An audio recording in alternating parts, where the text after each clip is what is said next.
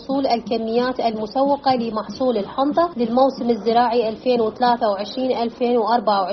منذ انطلاق عملية التسويق يوم 14/4/2024 لغاية يوم أمس إلى أكثر من 10,000 طن. علما أن مديرية زراعة البصرة مستمرة بتجهيز كتب التسويق للمزارعين الداخلين ضمن الخطة وخارجها وإرسالها إلى الشركة العامة لتجارة الحبوب فرع البصرة. ومن الجدير بالذكر أن مديرية زراعة البصرة مستمرة بمتابعة عملية الحصاد ضمن القواطع الزراعية. علما أن كميات التسويق تجري في وتيرة متصاعدة وكذلك ندعو مزارعينا آه، في المحافظة إلى مراجعة مديرية زراعة البصرة لغرض استلام كتب التسويق بهدف إرسالها إلى الشركة العامة لتجارة الحبوب لضمان نجاح الخطة التسويقية في المحافظة.